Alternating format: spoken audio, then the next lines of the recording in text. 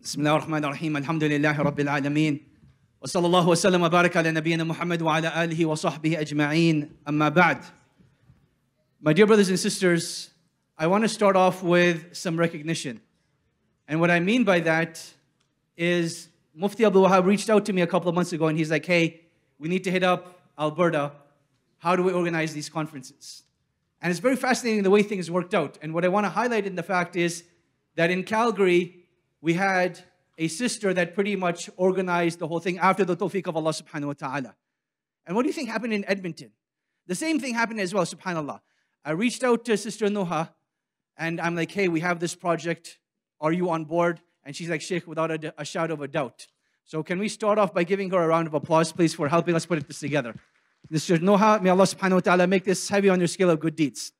Here's something else that's fascinating. When I think about movers and shakers in the Edmonton community, for some reason, it's always sisters that are at the front. I think of, you know, Sister Rayan Khatib. I think of Amira Shush. I think of Sister Nuha. And it's very, very fascinating. You look at this conference, overwhelmingly sisters. The brother seats were so empty, we had to give them to the sisters as well. Now, this is not to create a gender war. That's not the objective behind this.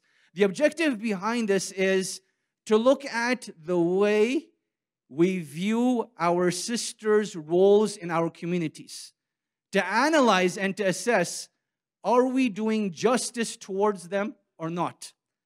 And that analysis should also lead us to reflect how do we treat the stories of women in the Quran and the Sunnah of the Prophet How often are those stories shared? How often are those stories discussed? And that's what I want to begin with, bi'idhnillahi ta'ala. So my topic of discussion is tawakkul in times of calamity. Relying upon Allah subhanahu wa ta'ala in times of hardship. And if you look at Surah Al-Anfal, Allah subhanahu wa ta'ala, He tells us, إِنَّمَا الْمُؤْمِنُونَ الَّذِينَ إِذَا ذُكِرَ اللَّهُ وَجِلَتْ قُلُوبُهُمْ وإذا تليت عليهم آياته زادتهم إيمانا وعلى ربهم يتوكلون. That the believers are those that when they hear of the mention of Allah subhanahu wa ta'ala, their hearts move. And when the verses of Allah subhanahu wa ta'ala are recited upon them, they cry. And they remember Allah subhanahu wa ta'ala deeply. And they rely upon their Lord. So, this concept of relying upon Allah subhanahu wa ta'ala, we want to tie to the previous two concepts of remembering Allah subhanahu wa ta'ala and the recitation of the Quran. And the recitation of the Quran. So, now, when you think of the remembrance of Allah subhanahu wa ta'ala, I'm going to discuss that second. What I want to discuss is the recitation of the Quran as a means of finding solace and increasing our tawakkul in Allah subhanahu wa ta'ala. Let us discuss the story of Umm Musa, the story of Musa's mother, alayhim as-salam. Allah subhanahu wa ta'ala, He describes the situation in Surah Al-Qasas. And He says that Umm Musa had found out that they are going to kill her firstborn son. And Allah subhanahu wa ta'ala revealed unto her, inspired her, that you know what, go and take care of Musa till you are afraid. And when that fear overtakes you, then place him in a basket and place him in the river. And do not fear nor grieve, we will return him to you. We will return him to you. Allah subhanahu wa ta'ala inspired this to her. So now, when you look at the story, can you imagine the amount of strength it takes for a woman to put her newborn child into a river knowing that eventually this river passes by the house of Fir'aun, knowing that that's what's going to happen. The amount of reliance upon Allah subhanahu wa ta'ala it takes to do that. Place your child and then to leave it to Allah subhanahu wa ta'ala. And it's amazing how Allah subhanahu wa ta'ala uses the term fear over here. That when you become afraid that he's about to be killed, this is what you need to do. Put him in that basket. And once you've done that, don't be afraid ever again we will return him to you. That is the promise of Allah subhanahu wa ta'ala. She did exactly just that, and we all know how the story of Musa alayhi salam turns out. But when we think of reliance upon Allah subhanahu wa ta'ala, do we think about the mother of Musa? When we think about reliance, let's turn to the hadith of the Prophet sallallahu alaihi wasallam. We have Ibrahim alayhi salam. He is commanded by Allah subhanahu wa ta'ala to leave his family in a valley that is a desert. There's nothing there, there's no one there, there's no food, there's not even water there, subhanAllah. He commands him, Leave your family there. And he does that and he leaves them there and he starts walking away and he hasn't told his wife what's happening. He hasn't told his family what he's about to do. Can you imagine how scary that is? You're in a barren land with no people, no food, no water, and your husband has started walking away, subhanAllah. How emotionally difficult that must be. But she was an intelligent woman. She shouts out to him as he's walking away. And we can empathize with Ibrahim alayhi salam as well. How difficult it must be for him to leave his wife and his newborn child without being able to tell them. She shouts out, Allahu amaraka bihada. Did Allah command you with this, O Ibrahim? And he nods his head as he walks away to let them know that this is the command of Allah subhanahu wa ta'ala. But look at her response over here. That if Allah subhanahu wa ta'ala commanded you with this, then know, فَلَن يُضَيِّعْنَ Allah, that know that Allah subhanahu wa ta'ala will never allow us to perish. The level of reliance, the level of reliance. So now, when you look at these two stories, one from the Quran and one from the Sunnah, what is their relationship with the recitation, what is their relationship with increasing your tawakkul in Allah subhanahu wa ta'ala? One of the functions of the Quran was to make the heart of the Prophet ﷺ firm. Through all of his calamities, through all of his hardships that he went through, how did his heart stay firm? It happened through the revelation of the Quran, gradually over this period of time. And we're not talking about the spiritual impact of it. Always, the spiritual impact of it is great. But the reminders of the Quran that time and time again, Allah subhanahu wa ta'ala tells us stories of pious and righteous people that go through great calamities and go through great hardships and go through great sacrifices. But what is their conclusion? Their conclusion is that Allah subhanahu wa ta'ala took care of them. That positive ending was always for the believers. And that is the function of the Quran in increasing our reliance upon Allah subhanahu wa ta'ala. Now let's move on to the first one, which is the role of dhikr. And for me, what stuck out the most was the story of Yunus alayhi salam. Allah subhanahu wa ta'ala told him to go and preach to his people. And he did, and he tried his utmost best. But it is a part of human nature that we give up on people. And Allah subhanahu wa ta'ala, when he saw that he left his people, he allowed Yunus alayhi salam to be swallowed by the whale. Now I want you to think about this as well. Empathize with Yunus alayhi salam for a moment. He's in the depth of the darkness, at the bottom of the ocean, in the belly of the whale. He can shout his and scream his lungs out. No one's going to hear him. Yet Allah subhanahu wa ta'ala inspires him at that time to make dhikr. He says, La ilaha illa anta subhanaka inni kuntu min al-zalimin.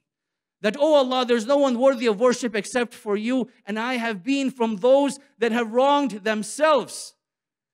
Now, what's fascinating over here is that this self recognition that he has, that I wronged myself, and you're the only one that can help me in this situation, is so profound that Allah subhanahu wa ta'ala not only preserved it for us in the Quran, what does Allah subhanahu wa ta'ala tell us shortly thereafter? وَكَذَلِكَ نَجَّيْنَاهُ مِنَ الْغَمِّ وَكَذَلِكَ نُنْجِي الْمُؤْمِنِينَ that just like we averted him from his hardship and calamity when he remembered Allah subhanahu wa ta'ala and was introspective, thus we shall save the believers as well.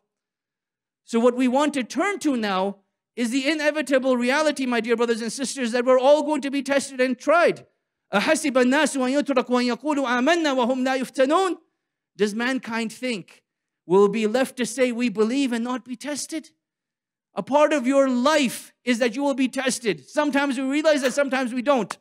The times we realize it are tests of adversity. The times we don't realize it are tests of prosperity. But regardless of which type of test it is, that reliance of Allah subhanahu wa ta'ala is needed to know that things are going to be okay. So, how do we get to that level? When things are going sideways, things are going wrong, things are not going the way that we want. How do we find the strength to continue to rely upon Allah subhanahu wa ta'ala? Continue with the dhikr of Allah subhanahu wa ta'ala. Seeking forgiveness from Allah subhanahu wa ta'ala will go a long way. Making your normal adhkar will go a long way. Saying La ilaha illa anta subhanaka inni kuntu min al-zalimin will go a long way. Saying La hawla wa la quwwata illa billah, that oh Allah, there's no might or power besides yours, will go a long way. In fact, if you look at the tradition of the scholars, whenever they were in hardships and calamities and they said, La hawla wa la quwwata illa billah, Allah subhanahu wa ta'ala uplifted those hardships and calamities from them. And this is the power of dhikr. So you want to increase your tawakkul in Allah, increase your dhikr of Allah subhanahu wa ta'ala. And then also increase your recitation of the Quran. Not just for the barakah of reciting, not just for the sake of reward of reciting, but reflecting on all of those stories that are mentioned therein. Those stories, when, can you imagine? Uh, you know, I, I think about this very deeply, and I'm hoping at some point we can analyze this. But if you look at the story of the mother of Musa, putting her baby inside a cradle and sending it down the river, is that not a traumatic experience? When you think of Hajar being left behind at the command of Allah by Ibrahim alayhi salam, is that not a traumatic experience? When you think of Yusuf alayhi salam being abandoned by his brothers in the bottom of the well, is that not a traumatic experience? Yet why is it that we see no signs of trauma in their lives thereafter? Where is this psychological fortitude that they were able to develop? And I believe this is just my hypothesis, and this is something I'm hoping to hash out in the future. It is their tawakkul in Allah subhanahu wa ta'ala that contributed to their psychological fortitude. So if you're able to convince yourself that this too shall pass, this too is a part of the qadr of Allah. Wallahu ghalibun ala amri. And Allah subhanahu wa ta'ala is in complete and total control of His affairs, then this will contribute to your mental health wellness. This will be a part and parcel of you retaining your sanity in these difficult, challenging, and sometimes nonsensical times, subhanAllah. Your reliance upon Allah subhanahu wa ta'ala is paramount and it is contingent upon your dhikr of Allah and your recitation of the Quran. But as I started, my dear brothers and sisters, just like we do a tremendous job of studying the stories of the prophets, and we do a tremendous job of studying the tafsir of the Quran, particularly Surah Yusuf, we also have a Surah Maryam inside of the Quran. Just like we have in Abu Bakr and Umar radiallahu ta'ala anhum ajma'een, we also have a Khadija and a Aisha radiallahu anhuma. Right? We need to honor these stories and remember these stories because particularly when you think of tawakkul, there's two stories that stuck out the most in terms of obeying the commands of Allah are the story of Hajar and the story of the mother of Musa. Where is our honoring of this legacy? Where is our justice towards these stories? Where is our appreciation of the legacy of the women that are mentioned in our Quran and in our Sunnah? And I believe when we start honoring those stories and those legacies, that is where the conversation begins in doing justice to the way that our sisters are treated in our masajid and in our organizations. But if we're not willing to recognize that, we cannot expect positive change to take place. Again, this is not about gender wars. But this is about Allah subhanahu wa ta'ala creating men and women as awliya of one another. Together, we are meant to be one cohesive unit serving the deen of Allah subhanahu wa ta'ala. If one oppresses the other, then justice will never take place. Success will never take place. Progress will never take place because we're always stuck within that internal fight.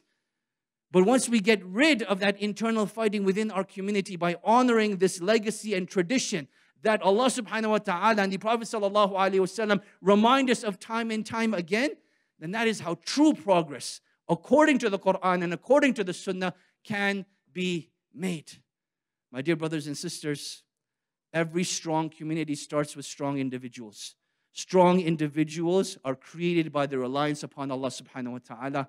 So I remind myself and you, let us increase in our dhikr of Allah. Let us increase in our study of the Quran and the stories that are mentioned therein. And may Allah subhanahu wa ta'ala protect us and our families and our communities in these difficult times. Allahumma ameen. Jazakum Allah khairan. Wassalamu alaikum wa rahmatullahi wa barakatuh.